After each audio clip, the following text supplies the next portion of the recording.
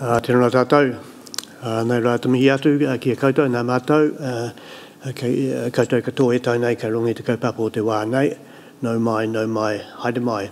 On behalf of the board and uh, Meridian Management, uh, welcome to you all. Uh, thank you for being uh, with us this morning.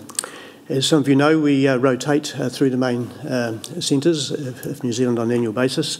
And uh, being here today reminds me of 2011. I think our first uh, ASM as a publicly listed company under the then leadership of uh, Chairman Chris, Chris Moller.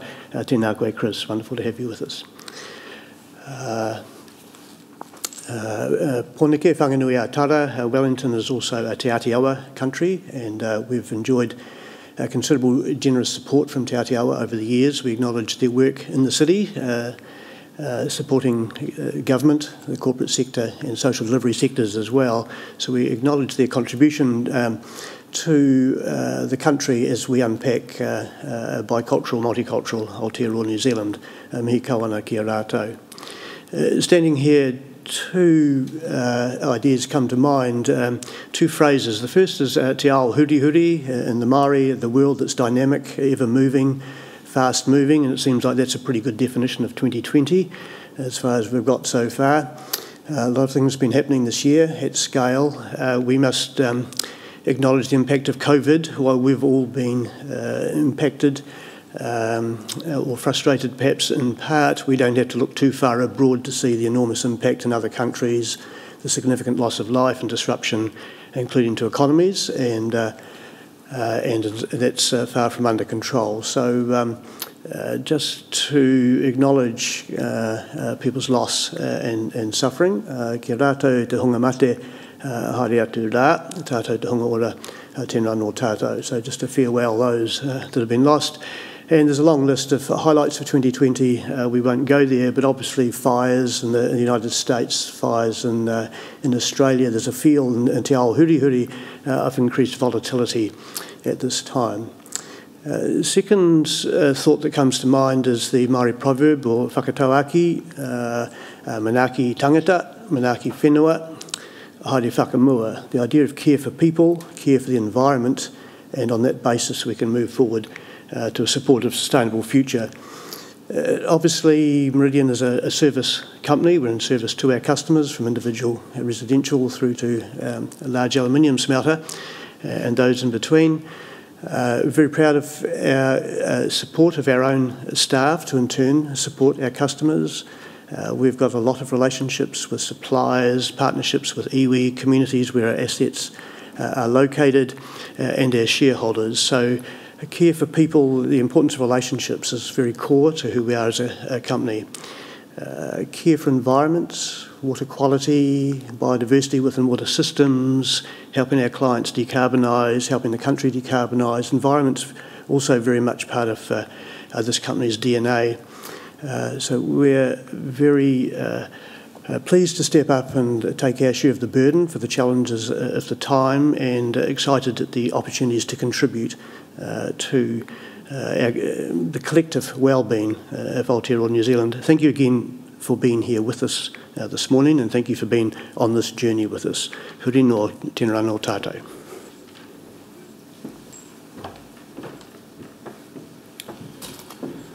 Thank you, Anake. Tēnā koutou katoa. Morena, ladies and gentlemen, good morning. It's lovely to be here on a fine Wellington day and to be able to have a physical meeting as well as an online meeting. We might be one of the first in recent times that's been able to do that. On behalf of the board and management, I'd like to welcome everyone in, in, to the meeting, and in particular, Justin Anderson, Aaron Gill, and Amanda Wilson from New Zealand Treasury representing the Crown. And as Anake has already mentioned, I would also like to acknowledge the presence of our previous chairman, Chris Moller. Nice to see you, Chris. Mike Hoshek, the company's lead audit partner from Deloitte, and Kath Shirley Brown from Russell McVeagh are also in attendance. Health and safety is important to Meridian. In the unlikely event of an emergency, you'll be asked to follow these procedures. You'll be warned by an electronic alarm if this alarm is sounding on this floor, you must evacuate the hotel to the evacuation point, which is across the road from the hotel uh, in 1 Grey Street. While on the conference floor, proceed to the nearest emergency exit, use the main hotel stairs or the fire exits beside the Aurora and Featherston rooms. Do not use the elevators. In the event of an earthquake or major incident, please remain calm and stay in this room and listen for an announcement over the hotel PA system for further instruction. And please always follow the instructions of the hotel staff. The bathrooms are located to the right as you exit the ballroom, and there are also bathrooms located to the left of the restaurant Chameleon on the ground floor. Moving to today's business, I declare the 2020 annual shareholders meeting open. I can confirm the meeting has been duly convened and a quorum is present. The minutes of last year's meeting have been posted on Meridian's website and are held by the company secretary. Today's meeting is also being held online via the Lumi platform. This allows shareholders, proxies, and guests to attend the meeting online via the live webcast. Like our shareholders in the room, online shareholders and proxies can ask questions and submit votes. I will let you know when questions can be submitted for online shareholders. And in their case, to ask a question, please press on the speech bubble icon. Voting today will be conducted by way of poll on the item of business. In order to provide you with enough time to vote, I will shortly open voting for all resolutions. For those attending online, once I open the voting, if you are eligible to vote at the meeting, a new polling icon will appear. Selecting this icon will bring up a list of resolutions and present you with your voting options. To cast your vote, simply select one of the options. There is no need to hit a select or enter button as the vote will be automatically recorded. You do have the ability to change your vote up until the time I declare voting closed. If you're attending this meeting in person, voting will be by way of poll which means it will be a secret ballot and you will need to complete your voting forms. Persons attending the meeting who are not shareholders, proxy holders, or corporate representatives of a shareholder may not vote. That includes bondholders. I now declare voting open on items of business. The polling icon will soon appear for the online attendees, so please submit your votes at any time. I will give you a warning before I close the voting. I would now like to introduce uh, the Meridian management and board sitting beside me on stage.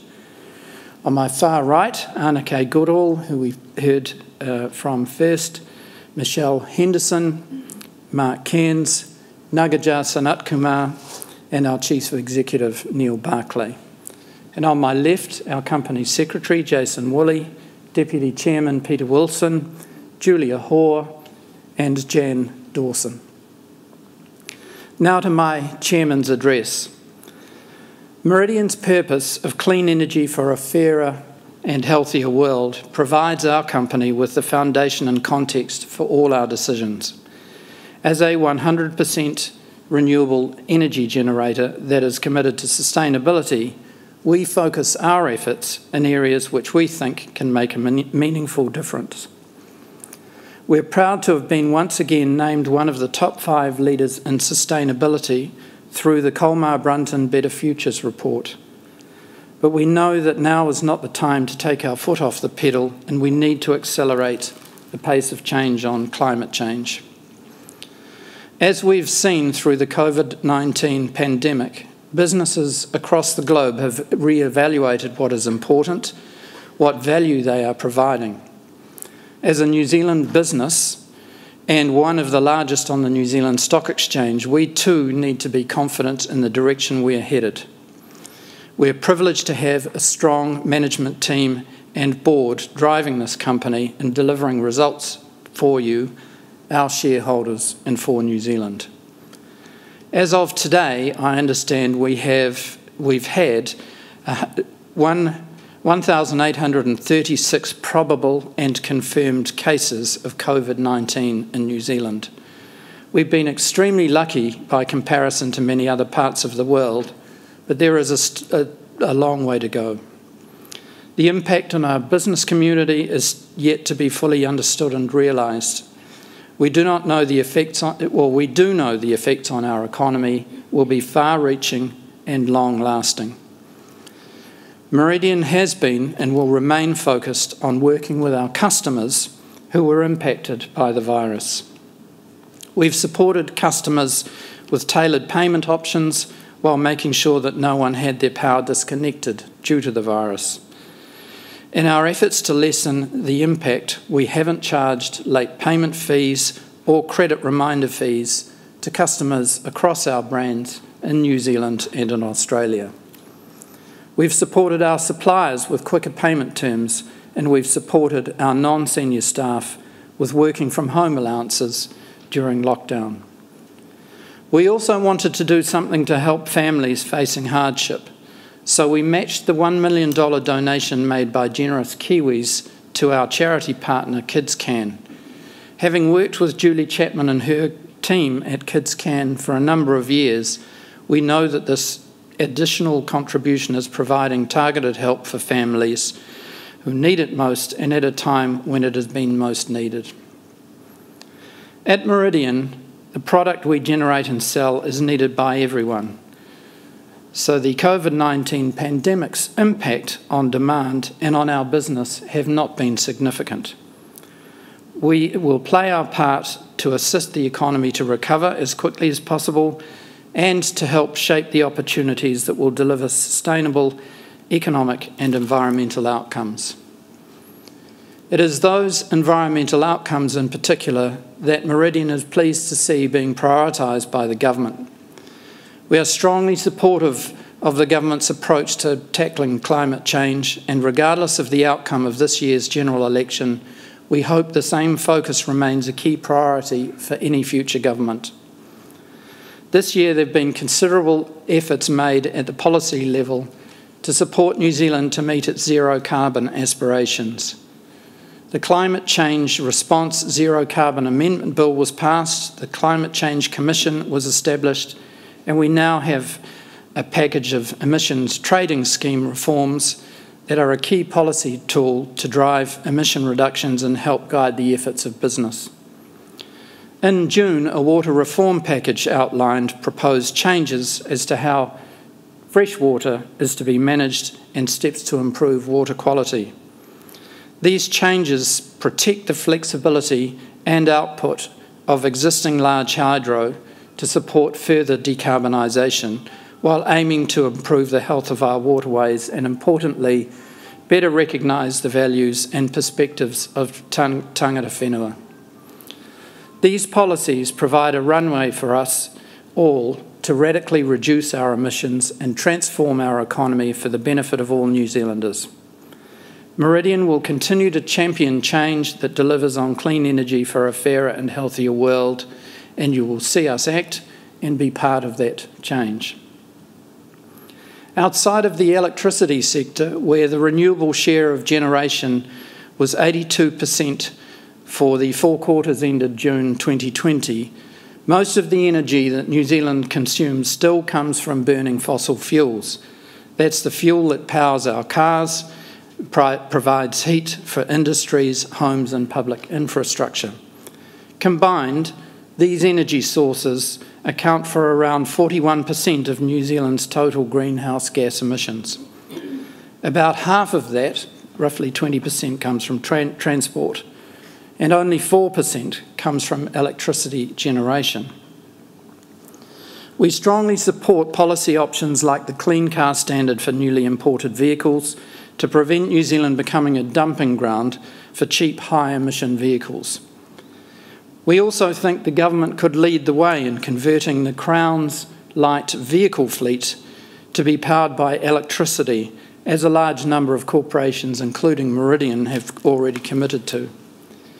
That could occur quite quickly and would be a meaningful way of assisting to develop a second hand market for electricity vehicles to subsidise demand without subsidy.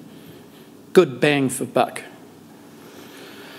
More co-funding of charging infrastructure and EV purchases would also be money well spent to both stimulate the economy and reduce a significant percentage of our emissions.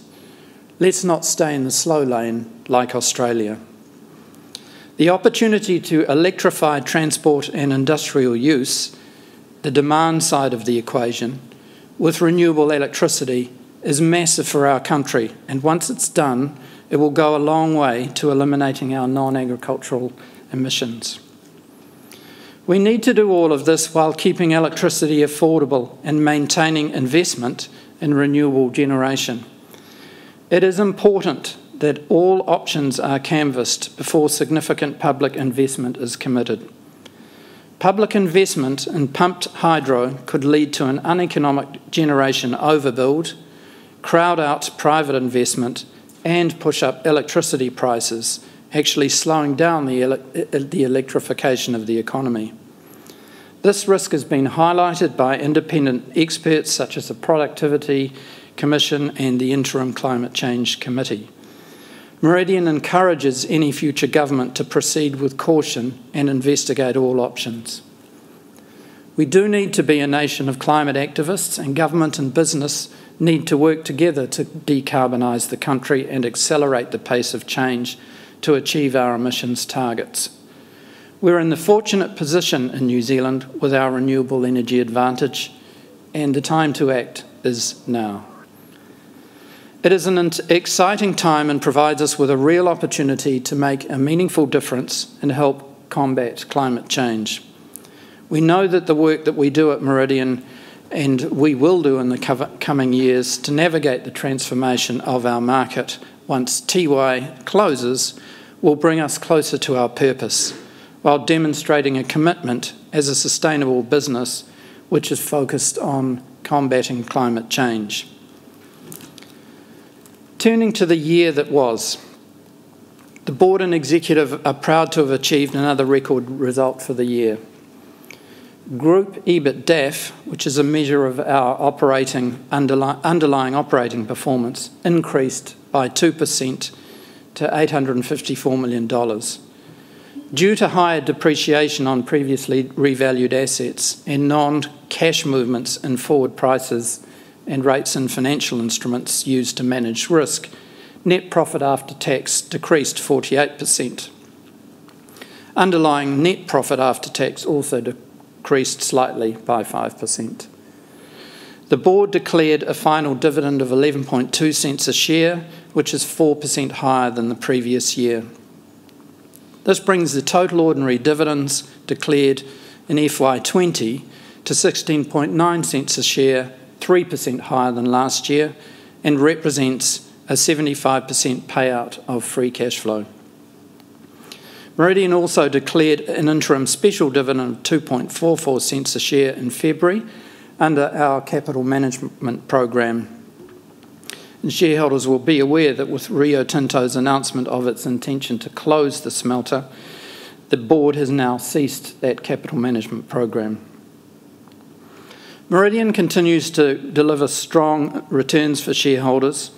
In the 2020 financial year, Meridian's total shareholder return was again stronger than the other major electricity companies we measure ourselves against.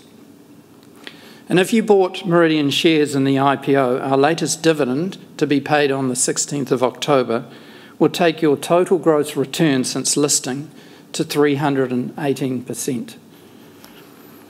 Before we move on to re elections, I would like to take this opportunity to thank you, our shareholders. The significant developments of the COVID 19 pandemic and the upcoming closure of the smelter have created more uncertainty for our business, and your board appreciates your continued support and investment in our mission, which is clean energy for a fairer and healthier world. I would now like to ask Neil Barclay, our Chief Executive, to address the meeting.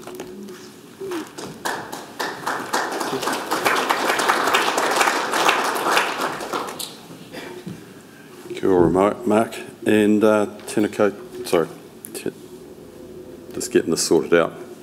Tēnā koutou katoa. Uh, ladies and gentlemen, I'd just like to start with introducing you to the remainder of the executive team, most of who are here today. So we've got um, Mike Roan, Chief Financial Officer, uh, Guy Waipara, General Manager of Generation Natural Resources, Tanya Palmer, Chief People Officer, Nick Kennedy, Gen uh, CEO of Flux Federation, Chris Avers, General Manager of Wholesale, uh, Lisa Hannafin, Chief Customer Officer, and Claire Shaw, General Manager of External Relations and Sustainability. We also have with us today uh, Barrett Rattenpohl, who is our CIO. You've met Jason Woolley on stage. And Jason Steen, the CEO of Meridian Energy Australia and PowerShop Australia, is not here today, clearly, but uh, a very important person in our team. Right. Um, now, there's four new faces in this team, very good looking bunches as they are. Um, and I'm pleased that the introduction of the new blood has not caused any loss of momentum in our business whatsoever.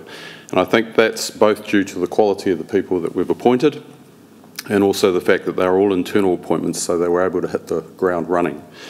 Now, Jason Steen, who was previously our General Counsel, has taken responsibility for our Australian operations, uh, and Lisa Hannafin, Claire Shaw, Chris Avers and Jason Woolley were all promoted from within the ranks. Now, each of these appointees were attested through recruitment processes that included external candidates. So I think these appointments show that the skill and leadership that we're developing here at Meridian tests very well against the market. Employee engagement has remained strong and engagement scores across all major business groups lifted to 85% or more. This tells me that our people are proud to work for Meridian and are committed to the company. This is confirmed by the fact that nearly 60% of Meridian employees or New Zealand employees now own shares in the company through our employee share ownership scheme. So that's all good. But on the flip side, our health and safety results have not been nearly as positive. Now, the thing that worries me most in our business is keeping our people safe, and clearly our safety performance needs to improve. We had eight lost time injuries during the, the year, and three of those resulted in serious injuries. But worrying about it doesn't make it any better, so we remain very focused on making tangible progress and evolving our workforce safety culture. I am confident that the backward-looking injury rate indicators will start to improve in line with what we're doing to manage all aspects of our work safely. The most important thing at Meridian is that our people do go home each night safe and well. Financially, last year was a very good year for Meridian, as Mark touched on, with another EBITDAF record result. But the global impact of COVID-19 of the COVID-19 pandemic and the announcement of the closure of the Tiwai Point aluminium smelter has presented us with some new, unique challenges and opportunities for the next few years.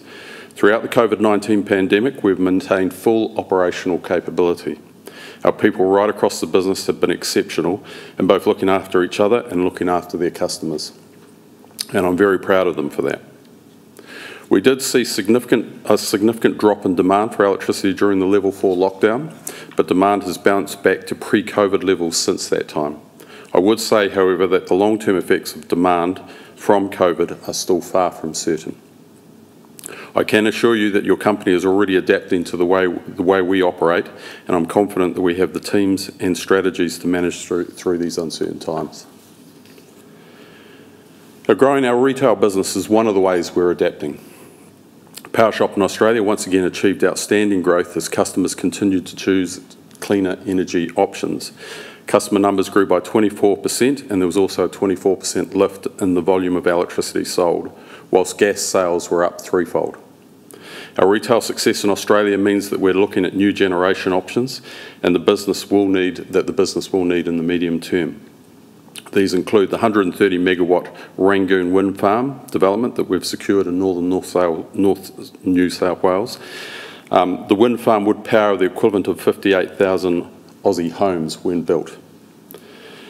Now, in New Zealand, across both the Meridian and PowerShop brands, we grew customer numbers by 7% and the volume of energy sold by 18%.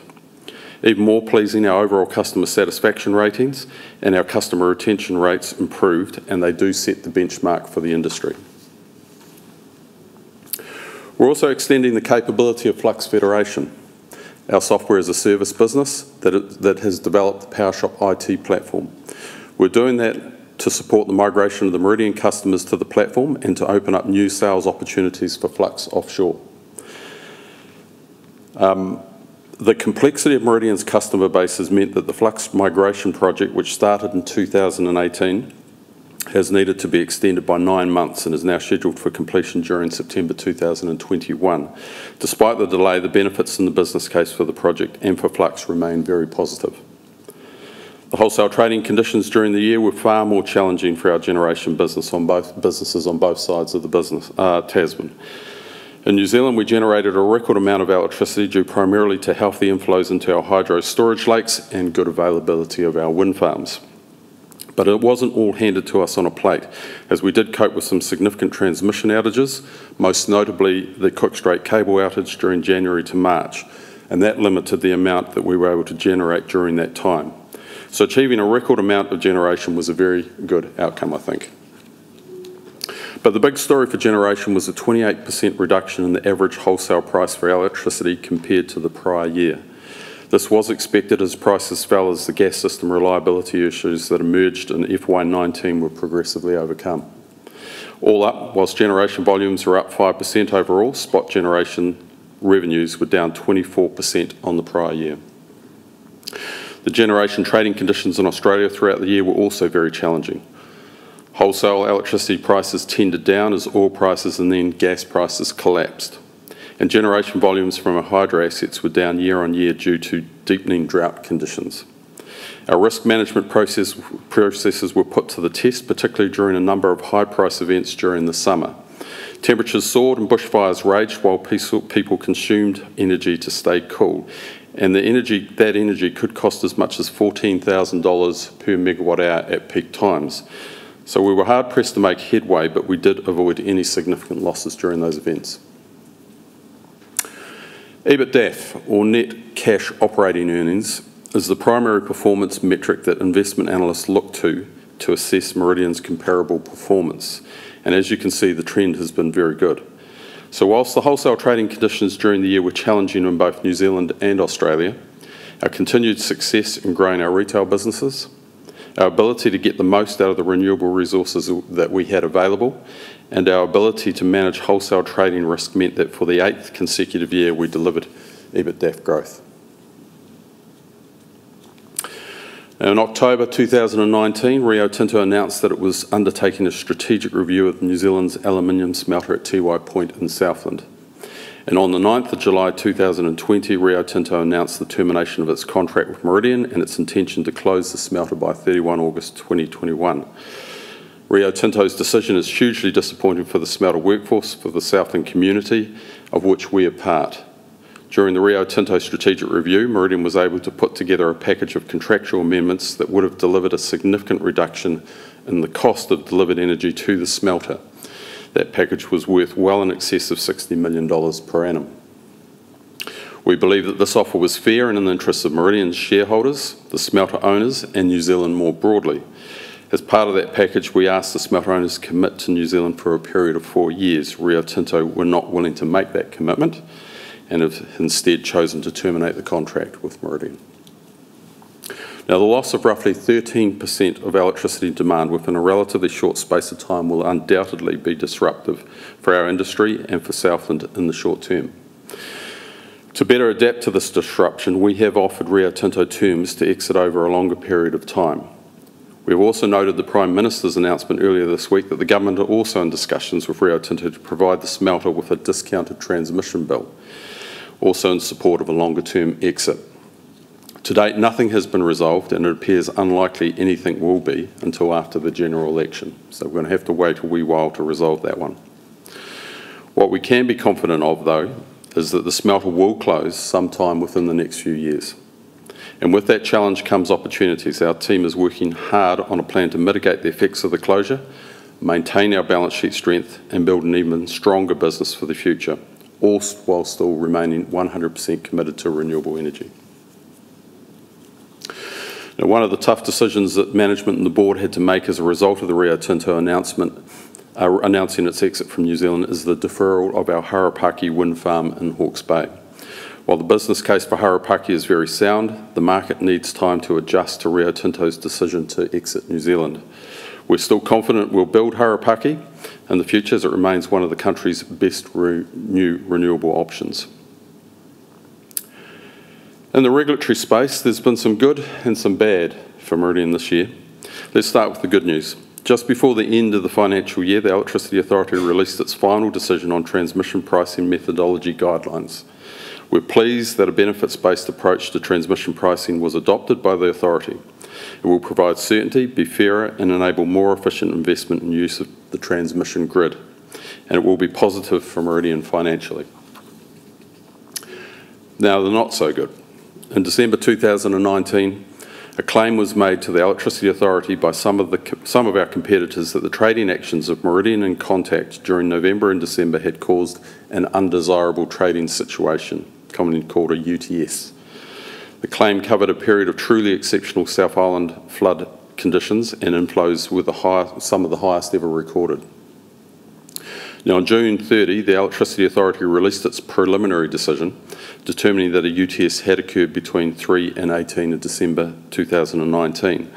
The authority have observed that, in their opinion, too much water was spilled and prices were too high during periods when water was being spilled. We disagree with the authority. Uh, their preliminary findings, and, and we stand by our decision during the flood events to manage both the safety of those downstream from our dams and our environmental obligations first. The conditions dictated that proactive spill was necessary. We also believe our trading conduct, was within the normal and previously observed operation of the market. That said, we've certainly taken some learnings from the event and we're also asking the authority to support the market by providing clearer guidance on generation offers at times of spill. Their preliminary decision has created significant uncertainty and in that regard the whole industry needs that uncertainty resolved. At this stage there has been no timeline provided by the authority in terms of when we can expect a final decision. To be conservative, our financial statements have been prepared on the basis that the authority does not change their preliminary decision.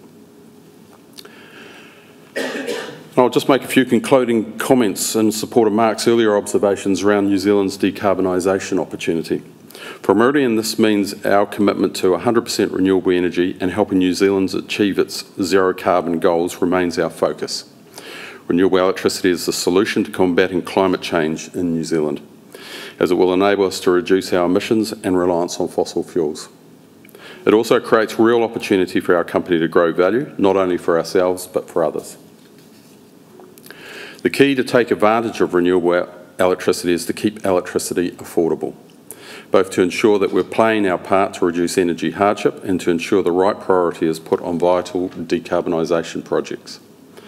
We expect the current trajectory to continue with renewable electricity generation only getting cheaper relative to other options. Meridian's modelling indicates that the electricity generation in New Zealand will be in excess of 90 95% renewable by 2035 which is why we don't think there is a case for any intervention in the electricity generation market. Renewables are already the most economic new generation investment option, and we're seeing that in the new builds currently underway. They're all wind farms, geothermal, and solar. Under current market settings, I think we can expect the right investment signals will exist and will encourage private investment in new generation at the right time. The government are best to focus on supporting users of fossil fuel-based energy to transition to electric. It would seem that the smart use of the emissions trading scheme is the best way to do this. The ETS will provide cost signals that drive businesses to innovate, to compete and deliver the last emission abatement solutions. Now, it's really hard for any one entity or person as a central planner to pick the winning technology solutions for the future. That is why competition works. And in the ETS, we have a market-based tool that with some refinements can help foster competition of ideas and deliver the most efficient solutions. We need to use that tool.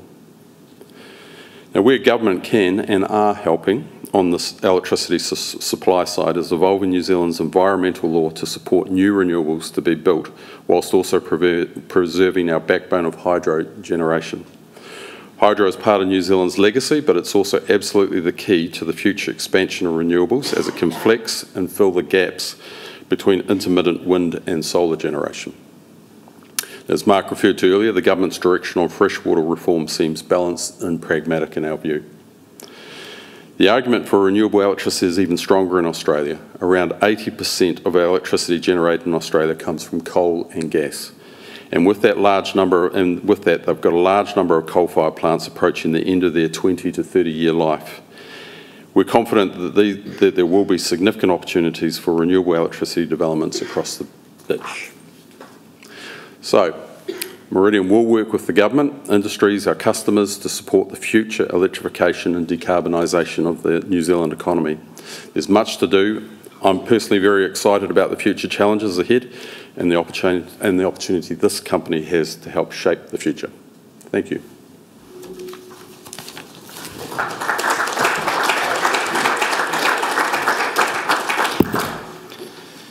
Thank you, Neil. I can advise that we've received two written questions by the deadline that was set. The first comes from Mr Ken Hawkswood and asks, with the closure of Tiwai Point, has the board given any consideration to establishing a hydrogen plant to use surplus power and water? Now, it might be useful to give you a bit more background first. Hydrogen is an emerging energy fuel. It would make it, it could be a possible means towards further decarbonisation. It often gets talked about as a potential new energy source for heavy transport, for example. Green hydrogen, as it's often referred to, is increasingly talked about in New Zealand. It's where an electrical current is used to break water, H2O, into its component elements. Producing current from a renewable non-carbon emitting source, such as hydropower, is what makes the hydrogen green. In describing that, you can see how it might be suited to New Zealand, and it's one of a number of new electricity load possibilities that we are exploring. We continue to have active dialogue with several credible parties. However, realistically, potential development is likely to be around three to five years away.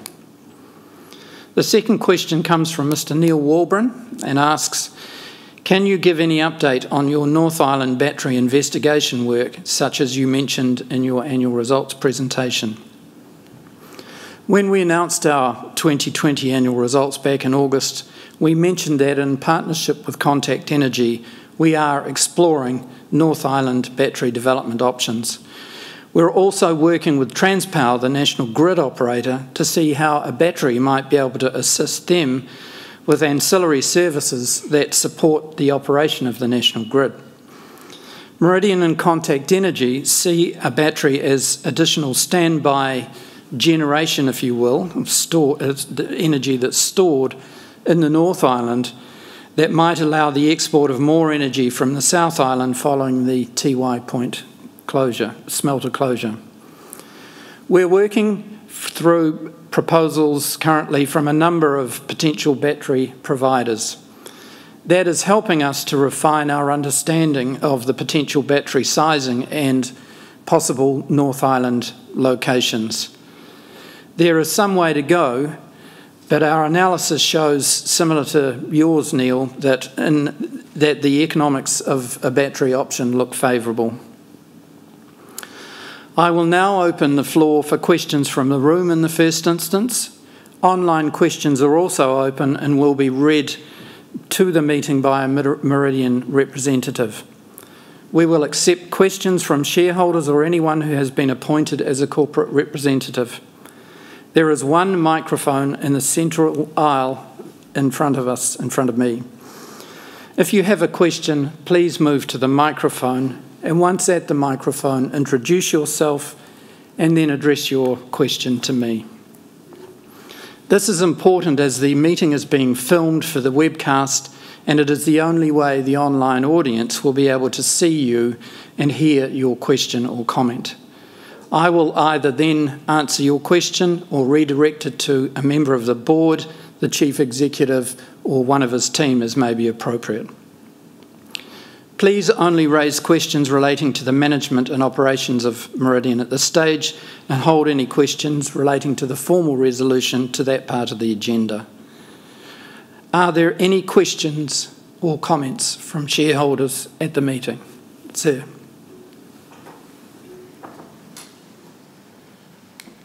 Good morning. My name's Gerald Twiss. I'm a shareholder through Sharesies. Um, my question is, is could you tell us what part of the, the company um, is the thing that keeps you awake at night? Um, the part of the company that, that needs the most work or you're worried about that you're trying to lift the standard for want of a better word. We hear all the good things that the company's done, but sometimes you come to these meetings and you don't hear what's not going right. So could you have a comment on that, please? Um, well, I'll ask Neil to Thank you for, the, for your question, Mr Twiss. I will ask Neil to comment on this too, but I could unreservedly say that the thing that keeps me, the board and the management team awake at night the most is safety.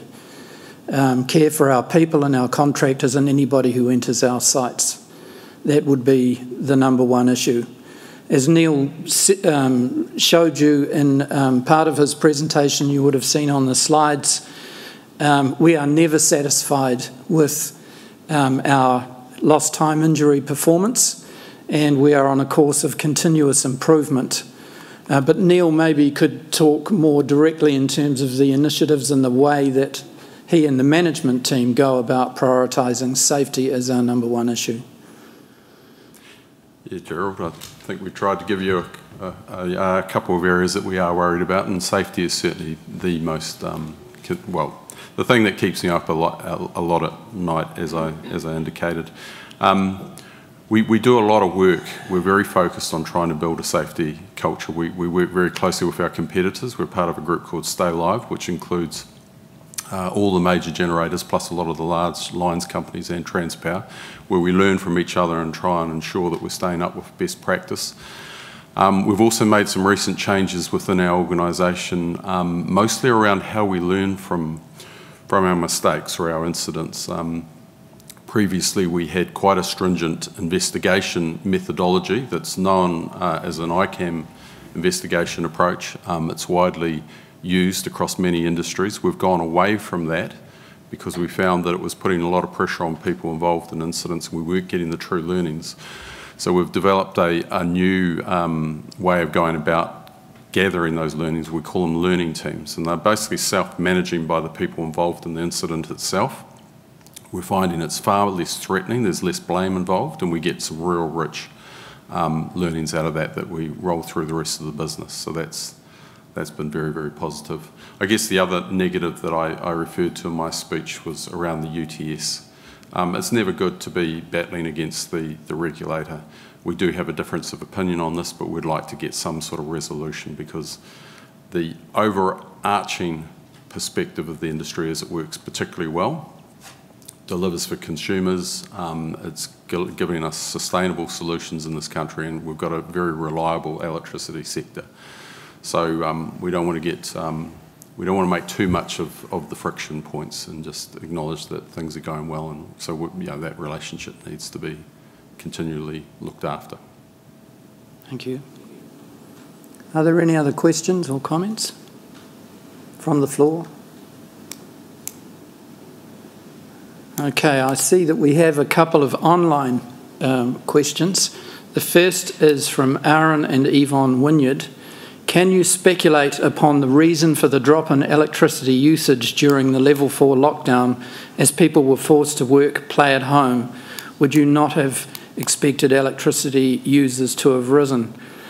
Uh, well, the first point I would make, and um, but I will ask uh, Neil to comment further, is that obviously the lockdown uh, meant that many businesses uh, shut down and uh, they take considerable load. Um, for example, a commercial building um, has uh, air conditioning and the like, which consumes quite a bit of electricity, and of course that was all shut and those volumes tend to be higher than what comes from the residential market. But yeah, Neil, do you want? Mark, that, that's dead right. We, we look at demand across different customer segments, and we saw a big reduction in small and medium-sized business demand. We also saw quite a significant reduction in large corporate industrial type demand. Offsetting that, we did see a big lift in residential demand as people were mm. working and heating their homes more, but it didn't offset the reduction in, in those business sectors. Um, clearly what we've seen since we got out of lockdown four as businesses have got fired up again, demand has largely bounced back to where it was. The second question uh, comes from Sivaswamy Mohanara Krishnan. I apologise if I've mispronounced it. Has Meridian got any plans to subsidise customers or shareholders for solar panel installation? Well, the first thing that I would say, and again I will ask Neil to comment more fully, is that we have a partnership, I think that's right, Lisa, with Harrison's, um, who I'm sure many of you will be familiar with. They advertise uh, nationally on all sorts of media in relation to um, installing solar in people's houses and make sure that they are on an appropriate plan if they wish to um, avail themselves of that opportunity. But do you want to talk directly to the question around subsidy? Um, yeah, I mean, we, we, we, we, we don't favour subsidies. We think um, new generation options should stand and fall on the, on, the, on the underlying economics. We think that gives you the best overall and most efficient outcome. And as you know, we've got a 80 odd, 85 odd percent renewable grid in this country, so most of the energy people use is, um, is renewable in any event. We do work with, on, on, top of working with Harrison's, we do work with large business customers in particular around um, rooftop solar installations, and we've deployed a few of them around the country, but they've been on commercial economic terms and they've made sense for both Meridian and the customers in those instances. Thanks, Neil. I think that's it in terms of online questions. Thanks, team. Okay, before we move to the formal resolution set out in the notice of meeting, I will briefly outline today's voting procedures. For those in the room, voting will be by way of poll, which means it will be a secret ballot and you'll need to complete your voting forms. Those of you who are attending online, once I open the voting and you are eligible to, and if you are eligible to vote, a new polling icon will appear. Selecting this icon will bring up a list of resolutions, well, in fact, only one, and present you with voting options. To cast your vote, simply select one of the options, and as I said earlier, there's no need to hit a submit or enter button. The vote is automatically recorded. Persons attending the, the meeting who are not shareholders, proxy holders, or corporate uh, representatives of a shareholder are not entitled to vote, and that includes bondholders. Many shareholders who, are not attending this meeting have already voted. At the request of the New Zealand Shareholders Association, Association we honour their request that the announcement of the proxy count will be deferred until after the formal resolution has been considered by the meeting. Given the resolution concerns my own re-election, I'm going to hand over to Peter Wilson, our Deputy Chair.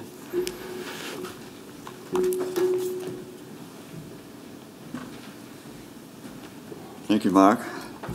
It's my pleasure to introduce and move the resolution to re-elect Mark Verbiest as a director of the company. Mark was appointed to the board in 2017 and was appointed as chairman in 2019. The board considers Mark to be an independent director and unanimously recommends that shareholders vote in favour of his re-election.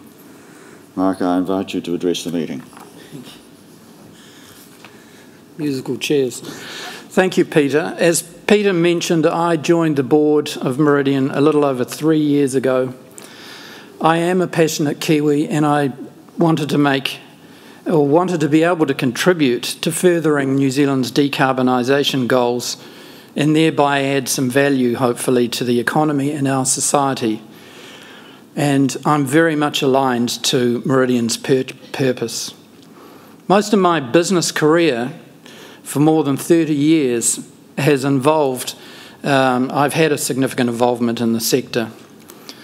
Following corporatisation of ECNZ in 1987, I've been involved in several initiatives up to the present day. Most notably, uh, the separation of Transpower, the grid operator from ECNZ back in the day, the development, the first development of wholesale market rules, uh, as an advisor on the formation, sale, and subsequent IPO of Contact Energy, I sat on the gas industry co regulatory body for a period, led an industry initiative on transmission pricing methodology, Uh, subsequently had a full term as chairman uh, of Transpower prior to joining the Meridian board. The industry is now facing considerable disruption, as Neil has referred to, following re the receipt of notice from the smelter of its contract with us. This leads to a fresh set of challenges that will have to be addressed by the whole industry, but obviously, particularly by Meridian. Conversely, out of that sort of challenge uh, comes exciting opportunities, and I believe and I hope I bring a lot of experience and knowledge to the table to be able to assist in formulating strategies and assessing relevant risks. And it would be a privilege to be able to continue to serve you as chairman. Thank you.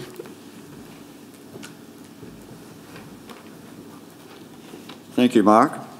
I move that Mark Verbiest, who retires by rotation and is eligible for re-election, be re-elected as a director of the company. Is there any discussion? It appears not. I've moved the resolution. I therefore now put the resolution and ask that shareholders uh, complete their voting papers for this resolution. Thank you. Thank you, Peter. In a couple of minutes, I will close the online voting system. Please ensure that you have cast your vote on the resolution and I will now briefly pause for a minute to allow you to finalise your votes.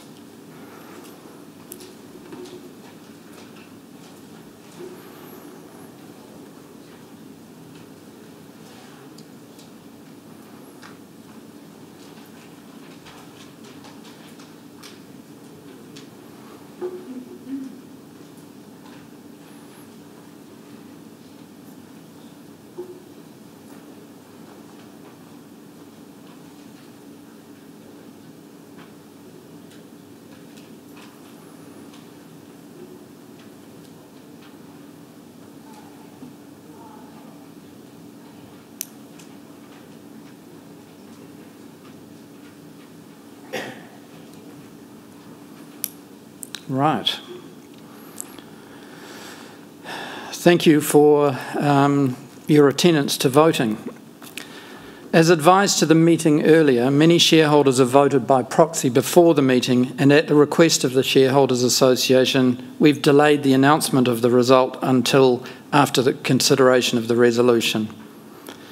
As shown on the screen, I can now advise that 1.914 billion votes, representing 53% of the shares on issue, were lodged with the share registrar Computershare two days prior to the commencement of the meeting, as required. In closing, on your way to uh, refreshments at the back of the room, if you could please place your voting papers, for those of you the, in the room, in one of the ballot boxes that are being carried by Computershare staff. They'll be pretty obvious, I'm sure. Once all the votes have been cast, they will be counted by Computershare and scrutinised by our auditors, Deloitte. The result will be advised to the New Zealand and Australian stock exchanges later today as the policy of the board has been and continues to be to rotate the shareholders' meeting around the main centres of Wellington, Christchurch, and Auckland, I should let you know that the intent is that our next annual meeting will be held in Auckland. Thank you for attending Meridian's annual shareholders' meeting. I now declare the meeting closed. And for those of you who are here, look forward to having a chat over morning tea. Thank you.